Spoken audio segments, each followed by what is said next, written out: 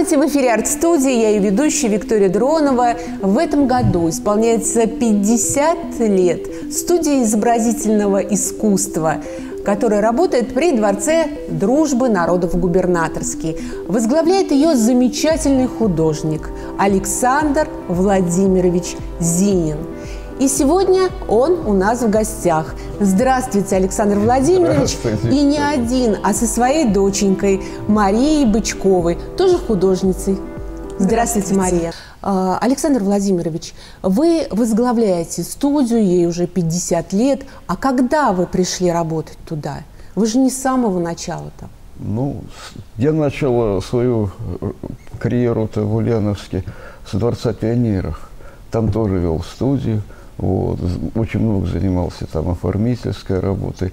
А потом э, вот э, Людмила у меня устроилась э, во дворец жена, детскую за студию она вела.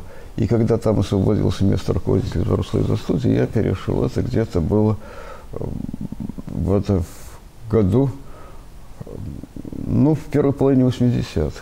То есть Людмила, э, ваша жена, она тоже художница и тоже Да. работала там. Когда вы работаете с детьми, какую задачу вы перед ними ставите? Ну, первое, Чтобы, допустим, чтобы быть художником, нужно продолжить. нужно уметь фантазировать и сочинять. И первое задание, и вообще, это у меня так пожизненно, значит, у всех студийцев детей, когда идете в студию, вот между занятиями думаете, что будете рисовать, что хотите рисовать. Сочиняйте композицию, продук- собирайте материалы для нее и так далее, и так далее. Сразу возникает вот это вот желание именно сочинять. Вот. А дальше это уже развивается в процессе работы. Вот сейчас, по нынешним временам, в детскую студию сам-то ходят э, младшие школьники. Вот. Почему? Потому что очень мощно здесь с этого времени развелось вот это вот э, система художественного воспитания художественных школ. То есть там уже такое системное воспитание. А у меня задача, наверное, вот э, заразить их э, художеством и профессией. Ну, а также э, вот заразить художеством. Ведь всякий человек просто он не понимает, не всегда понимает это, он все-таки является художником своего дела. Вот. И вот это вот навык какой-то пространственной ориентации, навык, ну, условного, символического смотрения на мир, который дает художественная грамотность, э, он не является лишним. Это, по сути, это дело навык пространственной ориентации. Вот. Э, Такого человека, художника труднее обмануть, чем простого гражданина, который верит в славу. Художник верит в то, что он еще видит. То есть э, это нужно сочинять так же, как сочинять стихи, как сочинять рассказы. Так можно сочинить и картину, правильно? Да.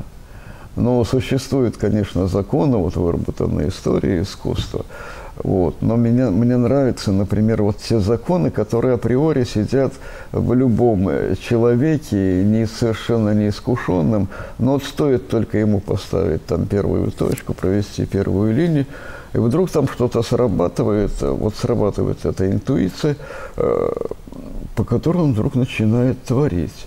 И вот тут вот надо как раз это грамотно добавить к этой интуиции вот эти вот рациональные способы. Причем в случае с детьми это очень надо делать очень деликатно, потому что вот это вот божественное начало творчества, которое в нем сидит, оно в действительности, ну, я бы не сказал, что очень хорошо исследовано людьми, не очень хорошо ра- рационализовано.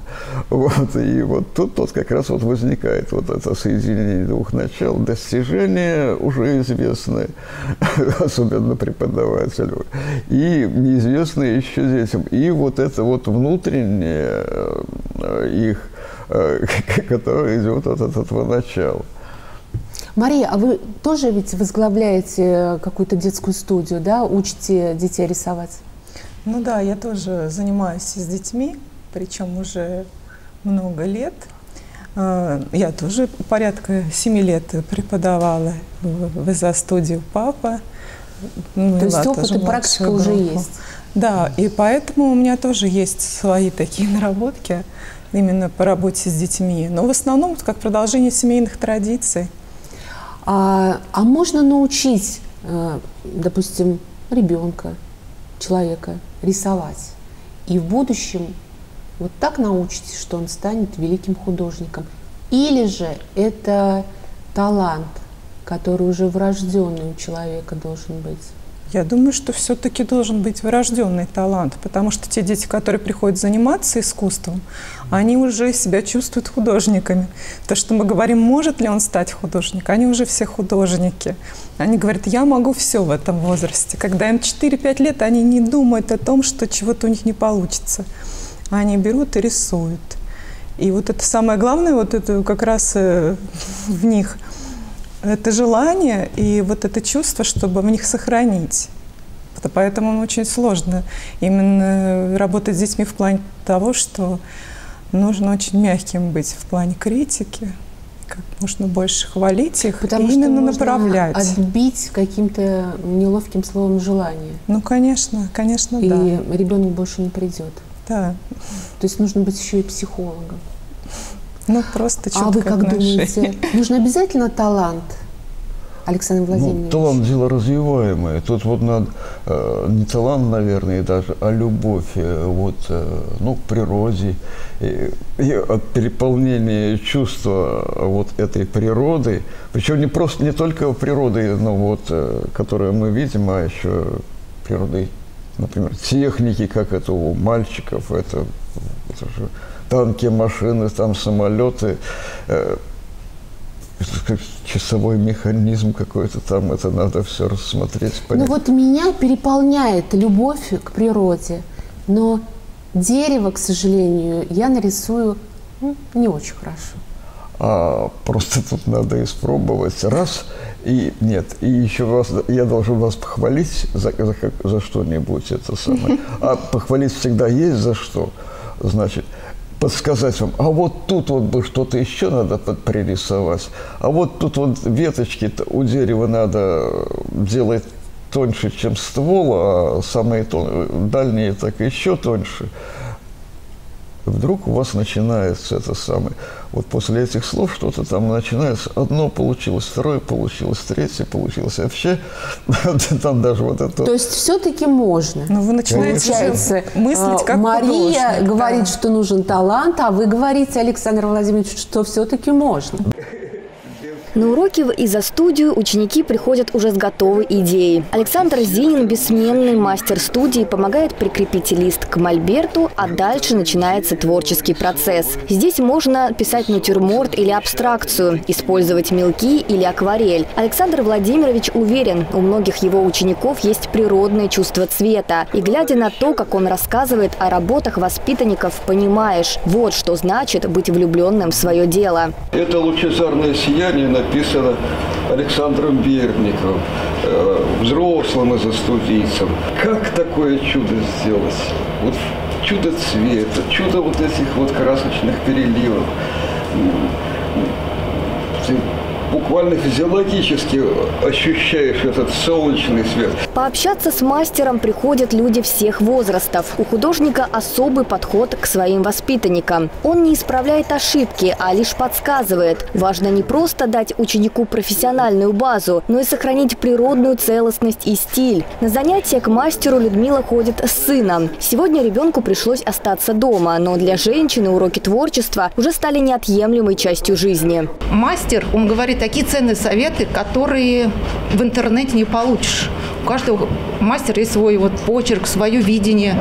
Тем более он подходит каждому ребенку и объясняет вот нюансы такие вот, что вот я их не почерпну ни в книге, нигде. Мы здесь вдохновляемся, здесь много такого интересного. Если вот я на шестом десятке Здесь вот не хочется, я бы вообще не уходила, без спала бы ночевала. Любой ульяновец, даже если не слышал об Александре Зинине, гарантированно знаком с его творчеством. Росписи художника можно увидеть в школах области, а полиптихи украшают стены Ульяновского госуниверситета и Дворца губернаторский. Но одним из самых известных творений Александра Владимировича стал памятник букве «Ё», который с 2005 года украшает набережную Волги. Помню художника Парамонова, который здесь работал руководителем из-за студии. И вот во времена первого директора Яворского и художника Парамонова были выписаны из мастерских академий художеств гипсовые слепки с античных и э, скульптуры, скульптуры эпохи Возрождения. И вот они сейчас стоят у меня за студии. Я их бережно храняю. Вот в этом, этим летом я частично их отреставрировал. Вот Венера Милосская стоит, а после реставрации оригинал э, мраморный стоит в Лувре.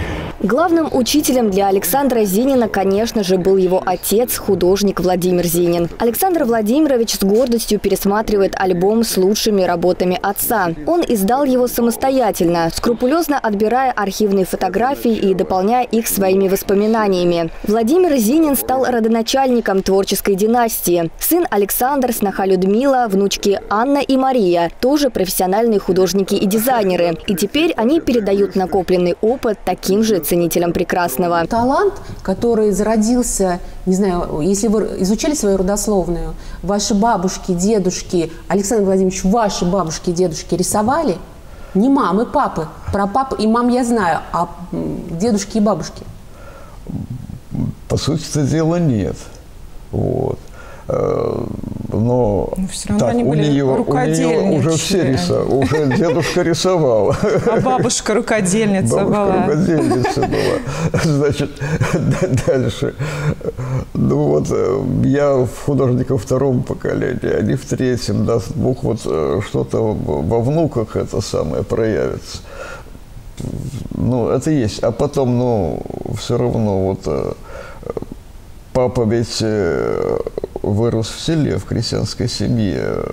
Село, природа, это все. Да, в Павловском районе вот ваш папа я счастлив, и Я счастлив, жил. Э, что э, Маша и Аня вот э, периодически ездили в Павловку, и все летнее детство это там проходило. Вот. При дедушке с бабушкой, это вот Павловская больница деревенская, вот она, наверное, сыграла на в их становлении их характеров, там, природа. Вот как, как Маша там э, ходит по лесу, когда ищет грибы, это надо просто видеть. То есть все-таки э, Родина э, как-то подпитала да, вас, Мария, и вашу сестру а, Аня, которая да, тоже да. художница. Да, ну, конечно, дизайнер да. детство, оно, именно детство в такой семье, оно, конечно, большое счастье, потому что все творческие, все что-то творят, так как говорится, что воспитывать детей нужно своим примером. Ну, то есть я могу сказать, что у нас такого не было, что вы обязательно должны, девочки, рисовать там хорошо, или вы должны стать художницами. У нас никогда со стороны взрослых взрослого поколения не было такого насилия, чтобы нас принуждали. То есть это как-то само собой вышло просто из наших э, пристрастий, увлечений, то, что мы смотрели на родителей, восхищались там как у них хорошо получается рисовать. Хотелось так же, как мама, так же, как папа. Что касается ваших внуков, вы уже начали рассказывать, вы мне показывали замечательные открытки, а вот можно посмотреть, рассказать? А, это, нет, вот это не... Что это такое? Это да. не... Это внучка папина, Владимир Николаевич. Это Оля Зинина, петербургская художница. И, кстати... Племянница она, твоя. Да, моя племянница. Вот. И, кстати, вот э, она, это ее открытки, выпущенные в Питере, Питере с видами Питера. Она же кончила э, институт кинематографии как режиссер-документалист. Ну вот, э, кстати, она сделала про меня фильм, вот, когда училась. Э, потом про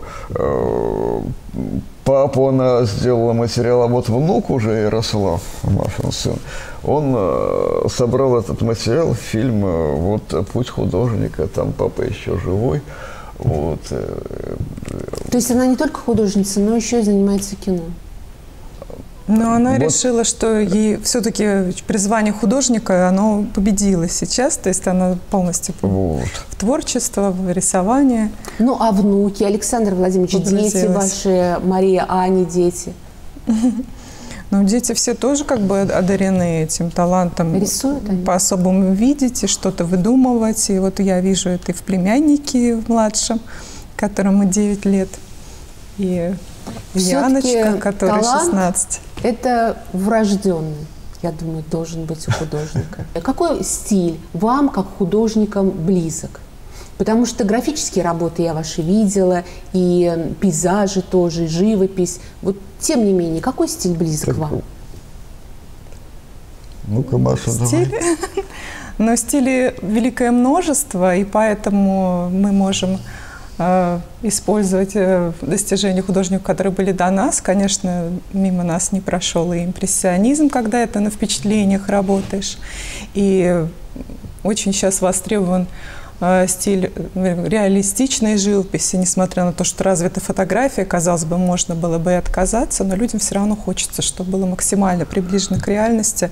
Поэтому я, например, когда работаю с портретами, конечно, стараюсь больше работать э, более в реалистичной манере, э, вот, но в то, в то же время что-то от себя добавляю, такое именно свое, что-то чувственное, что-то такое близкое мне по духу, вот то, что было у импрессионистов.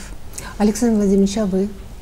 Ну, тут у меня такой э, множество направлений, которые все время я э, так это перебираю, меняю, там, значит, э, то скульптурной пластике предаюсь, то, значит, живописной пластике предаюсь, то она реалистичная, то она очень условная и абстрагированная. Вы еще и постоянный участник любищевских чтений, которые у нас с 1987 года, по-моему, в педуниверситете проходят. Да. А почему Александр Александрович так привлек вас? Он же занимался там совсем э, Так другим. вот это его основная задача математизации биологии, это, по сути дела, математизация чего? Создание наглядных э, математических моделей всего существующего, всего живого. Создание периодической системы, то есть системы живых организмов, подобной системе Менделеева. Оп, так Система Менделеева, что для меня это картина, которую я вот видел в кабинете, в школьном кабинете химии э, еще в детстве, и она магически меня завораживала. Вот. И тут вот, вот, это соединилось. Плюс еще интересные вещи. Ведь вот в 20 веке, вот мы говорим, философы Серебряного века, то есть они стали погружаться э, в богословие, чтобы понять его начало – художники-авангардисты. Кандинский, Малевич, Татлин, Филонов. Шагал. Все пошли в ту сторону. В сторону простоты. И вот когда мне говорят, а, что это квадрат Малевич? Почему такая серьезная картина? А вы знаете, что такое квадрат? Это математическая формула. Да, математическая фигура. Вы знаете, что квадрат там. И какое значение? Ну, вот то же самое, вот церковно-славянский словарь Дьяченко. Там великое имя Бога, значит, великое святое имя Бога называется квадратным.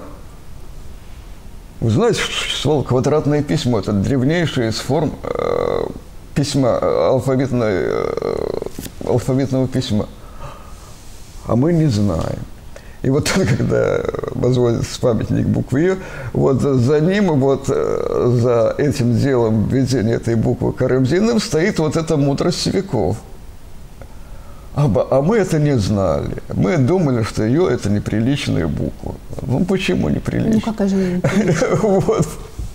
Александр Владимирович, но вот э, Мария, тем не менее, а что вдохновляет вас при написании книги. Я знаю, что вы еще и стихи писали. Написание картин. Вот откуда черпаете вдохновение? Ну, наверное, вдохновение, оно повсюду.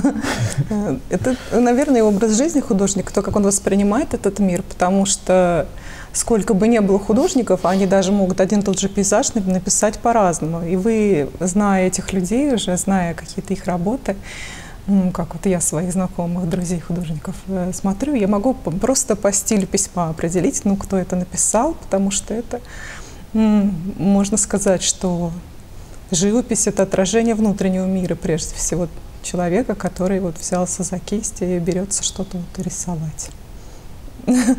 Даже если вот человек не профессионал, да, он вдруг увлекся живописью, он все равно будет проецировать свое, свой взгляд на мир — свой внутренний мир проецировать свои будет. переживания. Свои переживания. Это такой вот посыл, э, такая вот эмоция. Ах!